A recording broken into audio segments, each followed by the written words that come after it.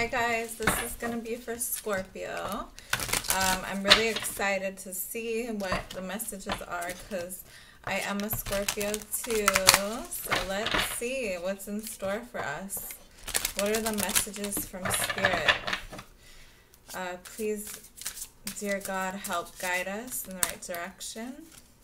Give us the most important messages for Scorpios. All right, control right off the bat. So, is someone trying to control you? Are you being too controlling? Um, are you trying to control a situation that you may need to let go of? You know, if it no longer serves you, it's going to hold you back. But somewhere in there, control is in your energy. So you need to take a look at yourself or those around you. Um, but no one else can control you, honestly. They can try. And if you allow it to happen, that's, you know, manipulation. But no one can control you. Ooh, I love that we got this card because this is our card. Look, see the scorpion in the back?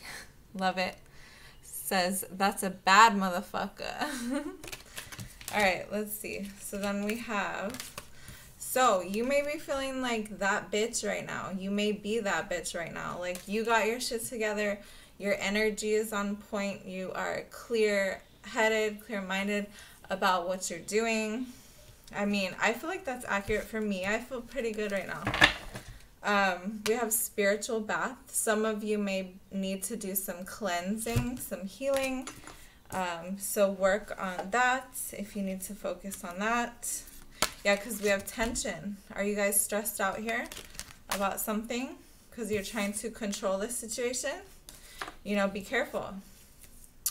Because Scorpios, you guys are so powerful. See this?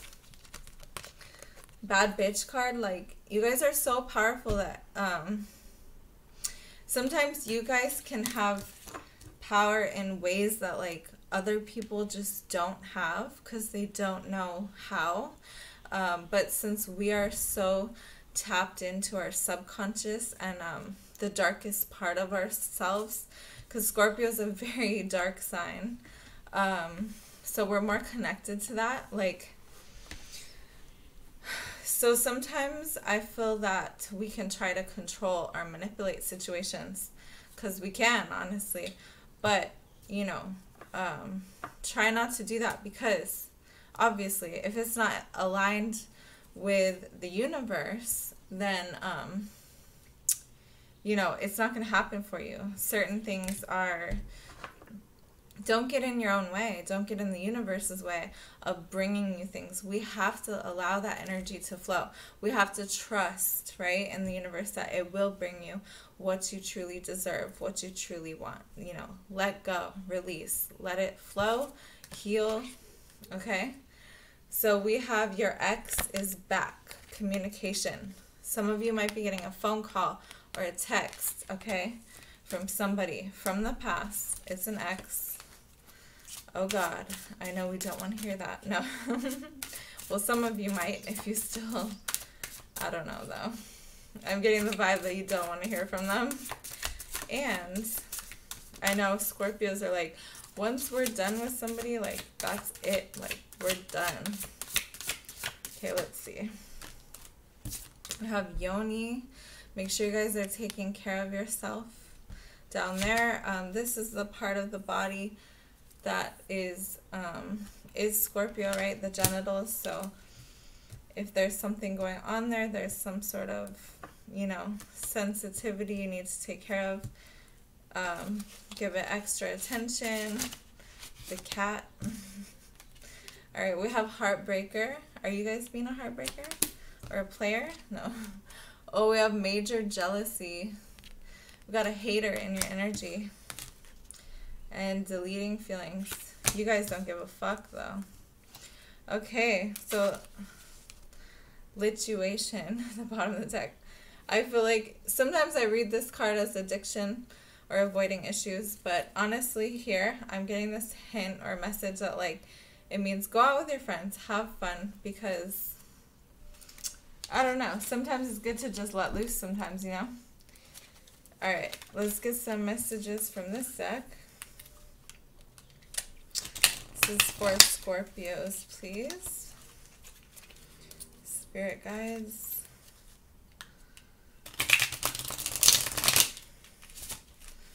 What are the most important messages for Scorpios in this situation? Definitely have some drama though, some haters. I'm not coming back anytime soon. Long wait. Okay, interesting. Because we do have the X's calling card, right? So is this you guys that you don't want them to come back? You don't want them to come back? Or uh, someone is playing games here, like acting like they don't want you back when they do. I'm getting that vibe too. Let's see, what else for Scorpios? I want to get some revenge. I'm testing you. Uh-oh. So someone might come back in um, just to mess with you just to try to get you back so that they can get revenge on you. So be careful with that energy because we have third party situation. So someone has somebody else. Someone is playing games here. Okay, we have move in with me. I'm a Virgo. Some of you are dealing with a Virgo. Haters talking shit about you. I know that's right. oh my god. Alright, let's see what else. Slowly coming in to approach you. Someone's trying to um, plot or scheme like how to get you back. I'm feeling like. Um, because you're the best I ever had. Damn. I have a secret I've been keeping it from you. I'm going to clarify that. I'm going to sweep you off your feet feeling forgotten. I feel like you don't even think about me ever, which we had. Wow, there's definitely someone who's going to try to get you back. Could be an Aquarius. At the bottom of the deck. Someone is plotting or scheming different ways on how they can get back into your life. But I feel like this person is immature because of all these like egotistical games that I see here like they're gonna try to um, play around with you. Like they just want to have fun. I don't know. I'm not really getting bad that bad of intentions for you, but just like they just want to like like you know when you have a crush on someone and you're just dating around and you just want to have fun. It's kind of that vibe, like high school vibe, kind of immature. But I don't feel like there's any ill will. Um, Don't know, it's kind of weird. Okay, let's see. What are the tarot messages for Scorpios, please? What is the tarot for my Scorpios?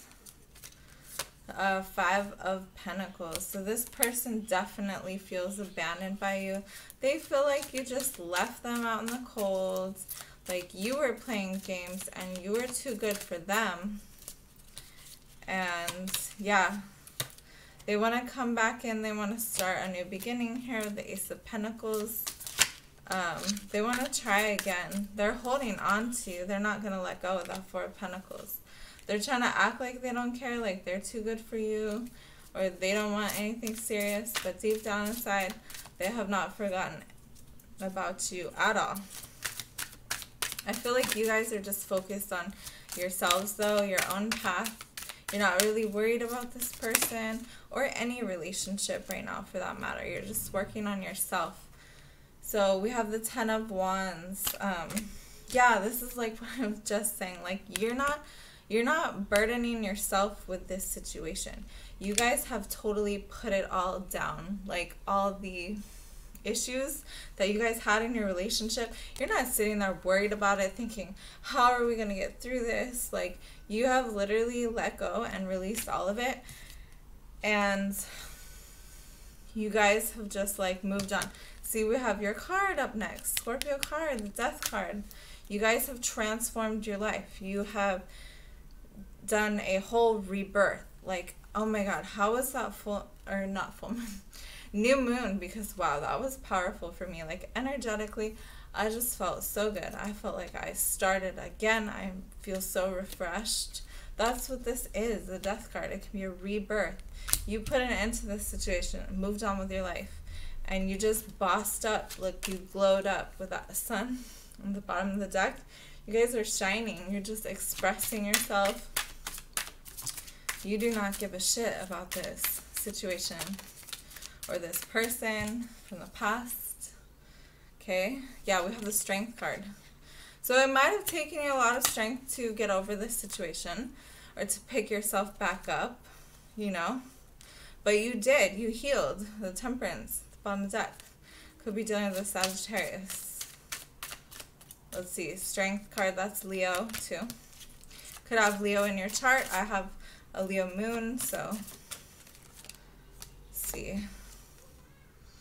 Eight of Pentacles. Yeah, see what I say? You're just working on yourselves, you guys. You're working on your future, building yourself. You do not care about this anymore. And that's what is probably attracting this person back, right?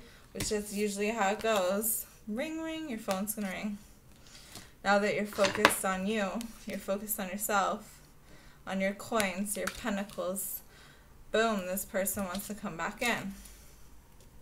But you guys are like, I'm checking out other options, that Seven of Cups. You're like, I got a bright future ahead of me. I don't want to limit myself. I got everything in front of me right now. Like, I don't need this crap from the past coming back in and ruining it for me. Taking away my new options from the future. Okay, you guys are excited to move forward, move on with your life. And you deserve that, especially if this person wasn't mature enough or didn't give you what you wanted from the past you know? Let's see. What are the messages for Scorpio, please? What are the messages for Scorpio? Lightning. So it says sudden change, shocking, news, surprise, epiphany, upheaval, transformation. Wow, powerful, which, you know, Scorpio is the sign of transformation. Let's see what else. I'm getting the feeling that you guys have really you guys have really surprised this person. You have blown them away. Like they literally they took you for granted. They did not think you had it in you for some reason. They thought you were like a dumb bitch and you were just gonna be hung up on them forever. And you like bossed up and moved on with your life and they're just blown away. Like they're shocked. They're like, I thought I had Scorpio all hung up on me and they were never to get over it. it's probably because I feel like we do that a lot uh, to people like Scorpios because we're so like loving and passionate and loyal. We just throw that on people right away when we um, first meet them and we fall for them. We just give them everything. And we're so intense, and they've probably never even had someone love them like that before. And we overwhelm them. And so they just think, oh, psh, they're gonna be here forever. And then when they fuck it up enough, we're like, nah, I'm good, I'm out. And we just get over it and we cut it off, we move on. And they're left there tripping. They're like, what? I thought this bitch would be like hung up on me for life. And we're like, yep, no, I'm gone. so we have mirroring each other. Self image relationships reflects our wounds. So be careful with, you know, if you're judging them, that reflects on you, right? Everything is a reflection. Um, it says, I like you. Someone likes you, romance is blooming, fun flirting. So, and seduction at the bottom of the deck. Attraction, flirting, dating, hooking up, temptation, third party interference. So I'm getting the vibe that, I'm not really getting the vibe that well, there could be a third party, right? We saw that earlier. They may have someone else, but I don't feel like you guys really care. But I feel like with these two cards, there is a potential here for you guys to start something new and meet someone new and start dating. So make sure you get out there, especially if you don't want to be with this person anymore. Just move on. Check out your other options, right? That Seven of Cups. And um, yeah. So let me know, comment below if that resonates. Um, thank you guys for watching, and I'll see you next time. Please hit the like button and subscribe, okay? I'll see you next time. Bye.